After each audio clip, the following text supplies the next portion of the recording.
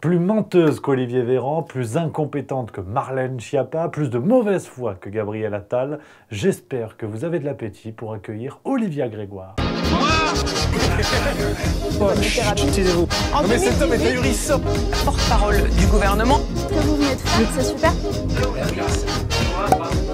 Chers amis, c'est un format de vidéo que l'on n'avait pas vu depuis un petit bout de temps sur Juste Milieu, mais on n'oublie pas les bonnes vieilles recettes. Cassolette et Macronie, vous le savez, on décortique par le menu hein, les plus grandes personnalités de la Macronie avec toute leur batterie de casseroles à faire pâlir d'envie Philippe Etchebest. Et avant de démarrer ce quatrième épisode avec une personnalité forte qui s'est imposée ces derniers mois, c'est un épisode un peu spécial parce que je ne l'avais pas prévu au calendrier celle-là. N'hésitez pas, si vous voulez soutenir l'aventure, à vous abonner. Vous savez, le petit bouton s'abonner. On a passé 312, 313 000 abonnés. C'est complètement zinzin. Vous pouvez également mettre le petit pouce bleu. Mais sans plus attendre, mettez votre serviette à ras du col, on passe à table. Cassolette et Macronie, épisode 4. Ça, c'est de la pipe. Vous avez cité deux choses qui sont importantes. Les poulets brésiliens. Le marché européen, finito. Avant de commencer l'entrée de ce joli menu qui vous attend avec Olivia Grégoire, n'hésitez pas à participer au quiz 2022, 20 questions, 20 points pour voir ceux qui ont bien révisé les vidéos. Le lien est dans la description de la vidéo pour participer. N'hésitez pas à donner votre résultat en commentaire. Attention, s'il y a des mauvaises notes, je sévis. Et on va attaquer pas plus tard que maintenant ce nouvel épisode de Cassolette et Macronie sur Olivia Grégoire, je vous l'ai dit. Hein. donc, elle qui est aujourd'hui porte-parole du gouvernement, on va remonter l'histoire de cette dame, hein, personnelle, professionnelle, politique. Le plat de résistance, j'espère qu'il y a des estomacs bien accrochés parce qu'on a de belles choses. Et puis, restez pour le dessert. J'ai peut-être la clé qui explique toute la carrière d'Olivia Grégoire avec les énormes casseroles qu'elle se traîne derrière le popotin. Mais on commence immédiatement avec l'entrée.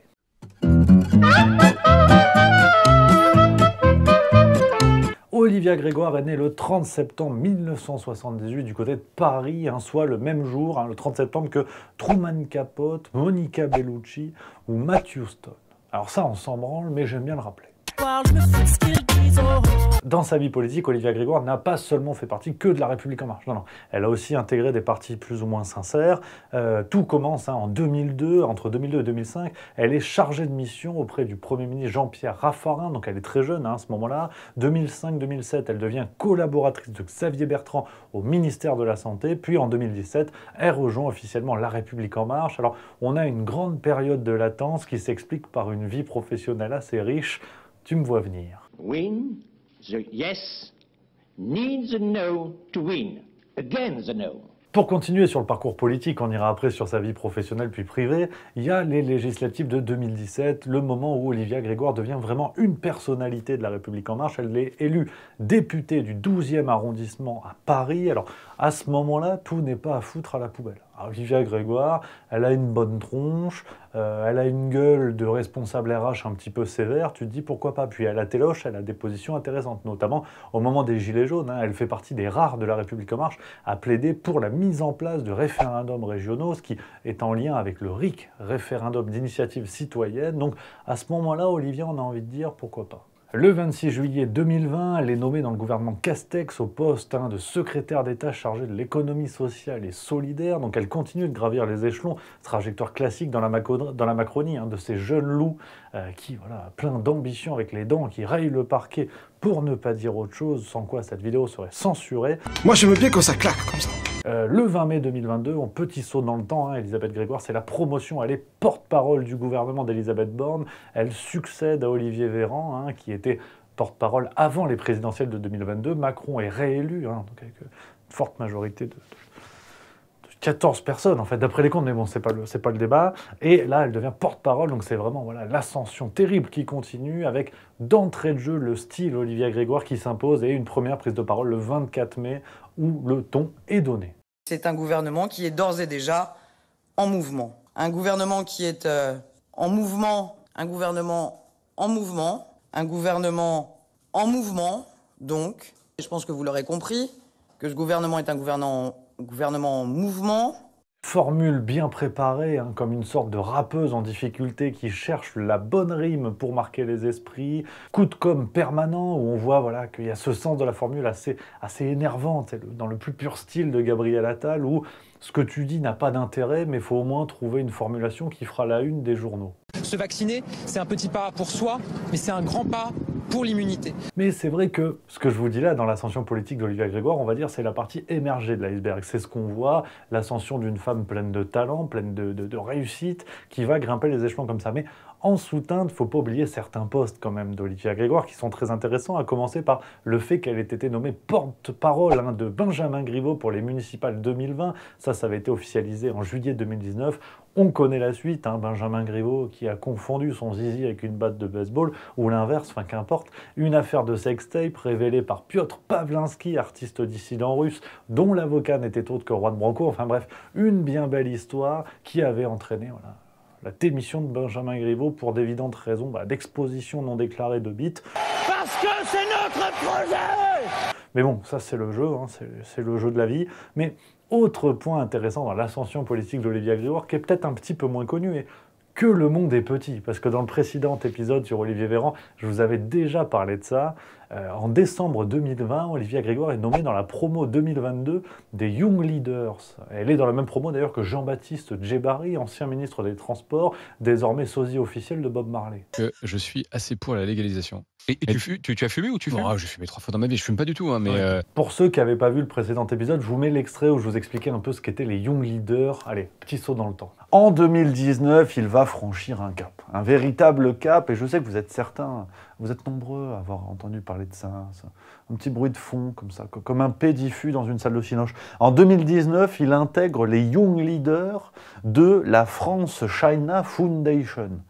Mais dis-moi pas que c'est pas vrai alors qu'est-ce que c'est que ça? Moi je connaissais pas. France China Foundation, je pensais que c'était un buffet illimité sur un parking du côté de Dunkerque.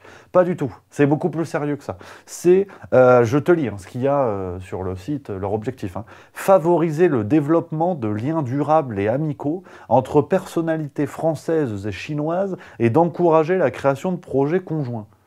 Alors j'ai regardé, parce que quand tu vas sur leur site internet de la France China Foundation, tu as, euh, bah, l'organigramme, les, types, hein, les promos, les promotions chaque année, avec qui est entré et tout. Tu sais, moi je pensais, bon, bah, tu as, un peu de tout, tu vois, tu as des gens qui sont pas forcément connus, du monde des médias, du monde de l'entreprise, du monde de l'artisanat, tu sais pas, tu vois. Il y a quand même des noms euh, qu'on connaît tous. Hein. Euh, tu vois, j'ai fait la liste, hein, euh, je te dis, pêle-mêle. 2020, Jean-Baptiste Djebari, ancien ministre des Transports, tu sais, qui s'est recasé dans une société euh, qui fait des voitures à hydrogène, alors que dans sa fonction de ministre, il a favorisé euh, l'investissement public de la France dans l'hydrogène. Euh, c'est bon. le comité d'éthique, il a dit c'est nickel. C'est d'une transparence incroyable, on ne voit rien. Donc ils ont dit c'est bon. Olivia Grégoire, porte-parole du gouvernement, hein, enfin du gouvernement, elle a été porte-parole une demi-heure parce qu'après justement ils l'ont remplacée par euh, Olivier Véran. Aujourd'hui elle a un poste à la con, délégué au Stabilo Boss, je sais pas quoi. 2019, tu trouves le nom de Maël de Calan.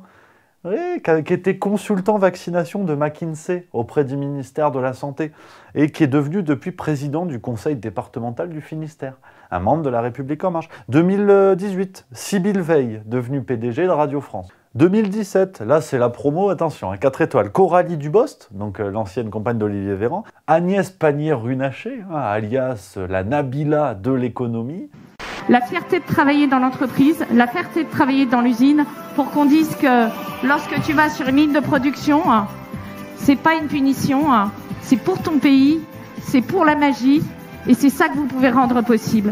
Euh, Brune Poisson, ex-secrétaire d'État sous Macron.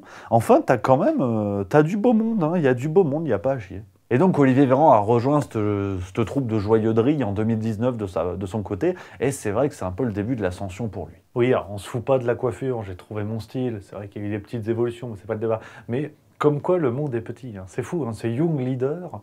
Euh, bah, Olivia Grégoire, elle était dans la promo 2020, tout comme Olivier Véran qui était dans une autre promo, et plein d'autres qu'on peut retrouver en Macronie, mais bon, après moi je dis ça, je dis rien. On revient, hein, vraiment là on est tout proche, législative 2022, Olivia Grégoire a été réélue, toujours dans la 12e circonscription de Paris. Alors on repassera pour les promesses d'Emmanuel Macron d'éviter les doubles mandats, le cumul des mandats Bon, hein, les promesses n'engagent que ceux qui y croient. Euh, le 4 juillet 2022 également, là, euh, patatras. Voilà, patatras, parce que je vous l'avais dit, elle a été nommée euh, porte-parole du gouvernement.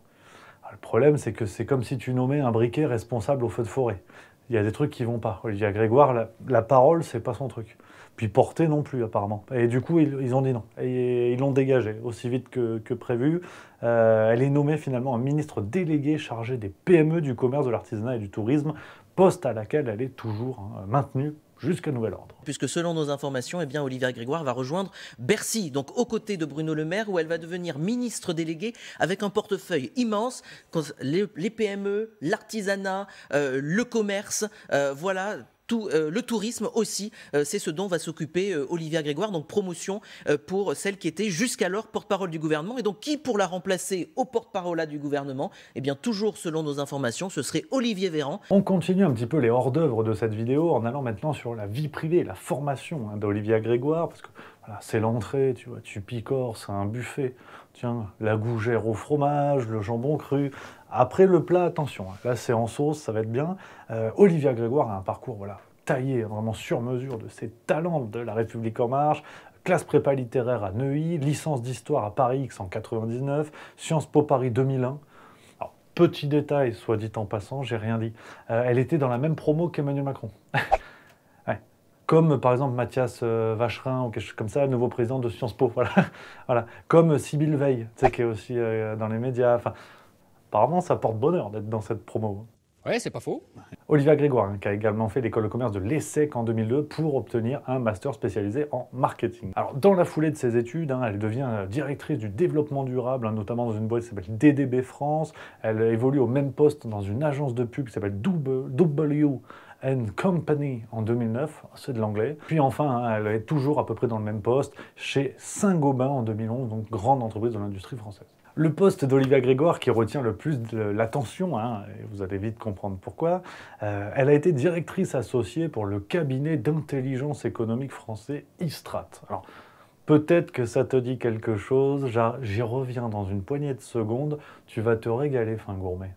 Voilà, et comme on dit, miam miam la gaufre. Et puis en avril 2014, avec ce que, ce que vous allez découvrir, ensuite à ce que vous allez découvrir, elle quitte Istrat pour fonder son propre cabinet de conseil en stratégie et communication qui s'appelle Olicar, un cabinet spécialisé dans le suivi des PME et TPE, euh, cabinet qui sera dissous en 2017 au moment où Olivier Grégoire gagne les législatives pour éviter les conflits d'intérêts. Pas de ça en Macronie. Enfin, on va continuer en toute souplesse, et là, accrochez-vous à vos slibards avec le plat.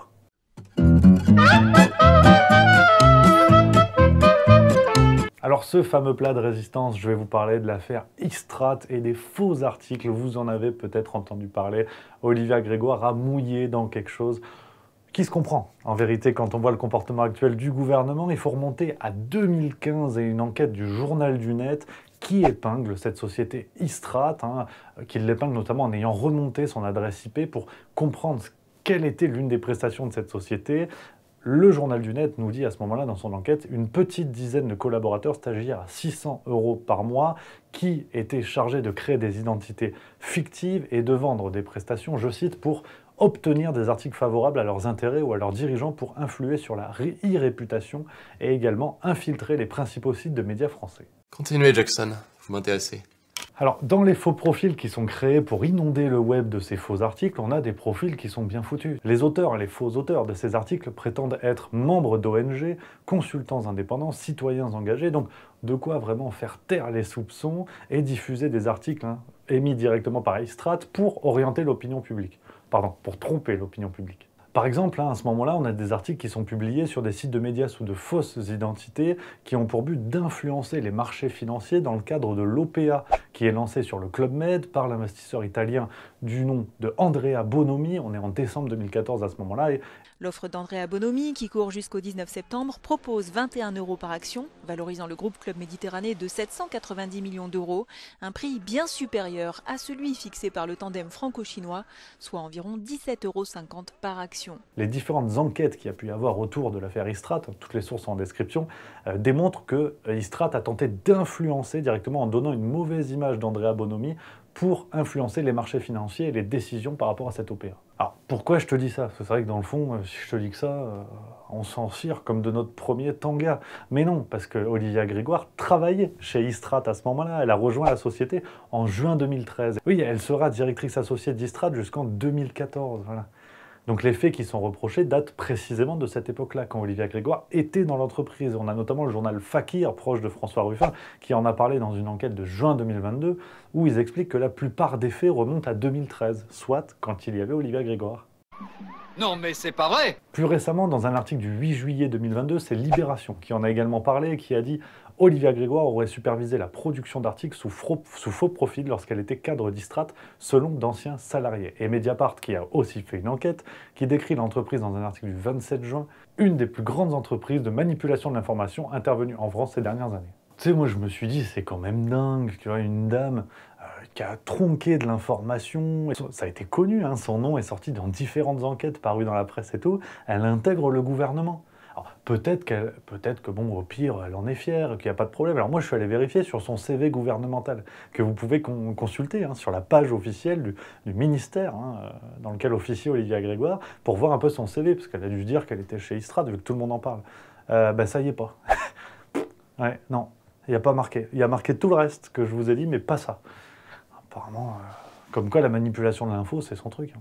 Et puis encore mieux, et ça c'est Le Monde qui l'avait révélé dans un article du 12 juillet 2022, on apprenait qu'en novembre et décembre 2014, c'est l'entreprise américaine qui marche plutôt pas mal, hein, du nom de Uber, qui avait commandé des articles à Istrat pour renverser l'opinion générale. Le Monde hein, parle même de manipulation du débat public, parce que à ce moment-là, hein, c'était la période, je cite, durant laquelle le tribunal de commerce de Paris devait se prononcer sur la légalité de son service Uber Pop, accusé par ses adversaires de concurrence déloyale. Mais le service séduit Aujourd'hui, il y a plus de 160 000 usagers à Paris et dans les cinq autres villes où le service est disponible. On parle de 19 articles qui ont été publiés dans 13 médias différents, parmi lesquels Challenge, Les Échos, Mediapart, le journal du net. Alors, comment est-ce possible? Parce que tu vois, je t'ai dit Mediapart, le journal du net. Attention, il y en a qui ne suivent pas. le journal du net, c'est ceux qui ont fait une enquête au tout début sur l'affaire Istrat comment ils ont pu publier des papiers euh, émanant de cette entreprise? En fait, la technique d'Istrat, c'est de publier ces faux articles dans les, euh, pages blog ou les pages tribunes des sites d'actualité, ce qui fait que les médias sont moins regardants. Mais ils vont quand même héberger tout ça, donc héberger des conneries. Voilà, c'est c'est bien pensé. Hein. Et du coup, le lien est intéressant, c'est qu'aujourd'hui, Olivia Grégoire hein, est euh, ministre délégué euh, d'Emmanuel Macron, qui lui-même, hein, qu'on soupçonne dans l'affaire des Uber Files, d'être intervenu en faveur du géant américain euh, pour son intégration sur le marché français. Le monde est petit. Je, je conçois tout à fait qu'il veuille s'attaquer à ma pomme. Ça fait cinq ans et demi, je suis habitué. Très sincèrement, comme disait un de mes prédécesseurs, ça m'en touche une sans bouger l'autre. C'est qu'Olivia Grégoire, le mensonge et la manipulation, apparemment, ça a toujours été son truc. Et elle n'arrive pas à s'en départir. Vous avez sûrement entendu parler de l'affaire de la boulangère de Sarlat. On en a très récemment parlé dans La Farce Tranquille. Je vous mets l'extrait pour vous résumer tout ça. Toujours la République en marche, on a une nouvelle grande championne du mensonge. Pourtant, c'était pas évident après Olivier Véran ou encore Sibeth Tendiaï. C'est Olivia Grégoire qui s'est fait remarquer le 6 janvier 2023 sur BFM TV, l'affaire de la boulangère de Sarlat. Vous avez peut-être entendu parler de ça. Voilà ce que nous disait Olivia Grégoire. Encore la boulangère de Sarlat, au cœur du Périgord, en larmes sur un plateau de vos confrères il y a une semaine. 22 000 euros, elle passe à 90 000. Je l'ai appelée. On l'a appelée. On a regardé ligne par ligne avec mon cabinet on passe de 90 000 à 37 000. Oui, ça passe. Petit hic, hein, vraiment tout léger, tout comme ça, tout petit. C'est que bah, cette boulangère de Sarlat, cette fameuse boulangère s'est exprimée. En fait, tout ça est faux. Elle n'a jamais été contactée. Il n'y a jamais eu d'étude, comme le prétend la membre du gouvernement. Un véritable mensonge, comme on adore. On risque de reparler d'elle très bientôt. Je vous confirme, je n'ai jamais eu Olivia Grégoire. On l'a appelée, on a regardé. En aucun cas, d'accord Ils ont étudié ma facture. Ligne par ligne avec mon cabinet. Monsieur de Romanet n'a jamais étudié mes factures. On passe de 90 000 à 37 000. Oui, ça passe. J'ai appelé Monsieur de Romanet, dont j'ai le 06, et je lui ai laissé un message puisqu'il n'a pas décroché en disant que Madame Grégoire était une menteuse. Mais j'espère que vous avez encore un petit peu de place et un petit peu d'appétit, les amis. On finit avec le dessert.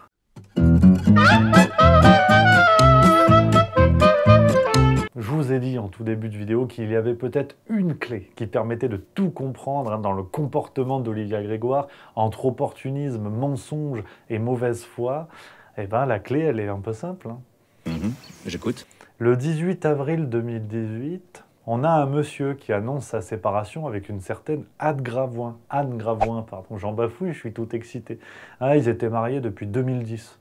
Mais bon, ça n'a pas marché. hein. Cette fille qui est violoniste et productrice de spectacle, elle se sépare de ce monsieur qui, le lendemain, dans Madame Figaro, hein, on apprend l'officialisation de sa relation avec Olivia Grégoire.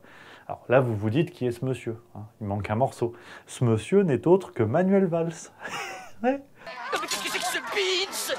Ah, Olivia Grégoire, elle est en couple avec Manuel Valls. Ouais, Ouais, non, mais eh, là, il y a- là c'est pas que le monde est petit, c'est que c'est un petit bourg. Merde, quand même Alors, la tuile, parce que le problème, c'est que Manuel Valls se comporte en politique comme il se comporte sous sa couette, visiblement. C'est-à-dire qu'il officialise la relation voilà, mi-avril avec Olivia Grégoire, mais le 26 août 2018, on apprend dans l'opinion que Manuel Valls est désormais en couple avec Susana Gallardo Torredelia. Alors non, c'est pas une marque de charcuterie ibérique, la dame est une riche héritière de l'entreprise pharmaceutique espagnole Almirall, voilà, l'un des grands géants de la pharma européenne. Donc l'héritière est en couple avec Manuel Valls. Ah, il est malin le Manu. hein. Moi je m'appelle Manuel Valls Tournerai Paris Fa molt que no mano Et puis sinon, le 12 décembre 2021, on apprenait toujours par voie de presse la naissance du premier enfant d'Olivia Grégoire avec Philippe Aubry. Alors lui qui est pour le coup pas dans la sphère politique, hein, c'est un spécialiste des effets spéciaux qui a bossé notamment sur Harry Potter, des choses comme ça. Euh, alors rien à voir. hein. Attention, hein, qu'on vienne pas me chercher des poux dans la tête.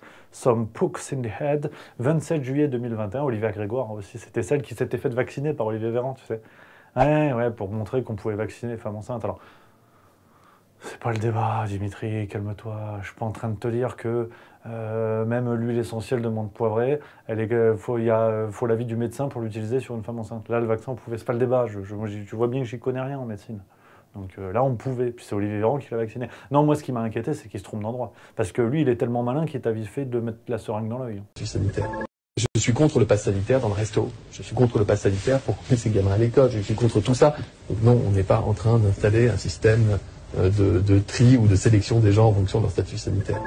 Et puis, à ce moment-là, hein, Olivia Grégoire qui avait fait un tweet quand même euh, qui a marqué hein, les, les annales, elle avait dit « La grossesse ne protège pas contre le Covid-19, le vaccin, si ». Et puis sinon, on va finir en beauté ce petit dessert avec une vidéo de février 2021 que je suis allé dénicher sur le site YouTube, hein, sur le compte YouTube de La Provence, pour vous dire que j'ai vraiment pas grand-chose à foutre.